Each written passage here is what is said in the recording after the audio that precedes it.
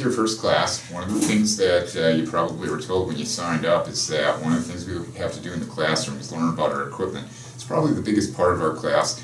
And today what we have is a couple of sets of gear, and I'm going to show you how to put your kit together. You'll see there's a dust cap here, and we're going to pull that off. And we're going to make sure when we look at the valve that there's actually an O-ring in the face of the valve. Next thing we're going to do is we're going to actually connect our BCD, put the strap over like this, if we were in the BCD, we would want the valve opening kind of pointed at our head. Oh. And one of the things when we hook this up, there is, on the first stage here of the regulator, there is a little knob and we're going to turn that open.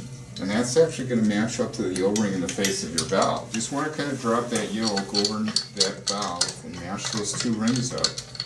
And then we want to just tighten down on that once it's lined up just finger tight. You should have a low pressure inflator hose right here and it's going to clip right in there. The whole thing goes into that little shoulder strap so it can't float around behind you. You have an extra second stage, it should be marked yellow.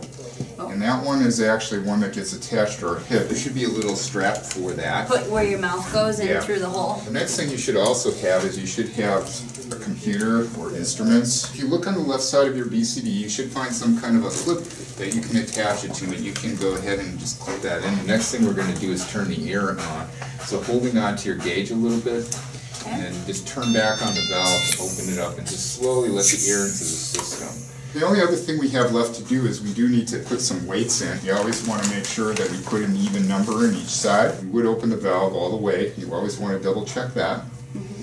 So you turn it until it stops. And then we usually we turn it like a quarter to half turn back. To double check the system, we just give a little tap on the purge buttons on the second stages. So now is a good Yep. time to give the little red button a shot to make sure the air goes into the BCD. All right. Yeah, it looks like all this stuff is working, so we're in good shape to get get in the water now. Awesome.